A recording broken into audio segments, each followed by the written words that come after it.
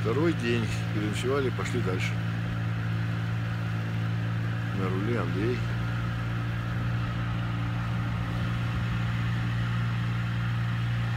Машка накусала все лицо.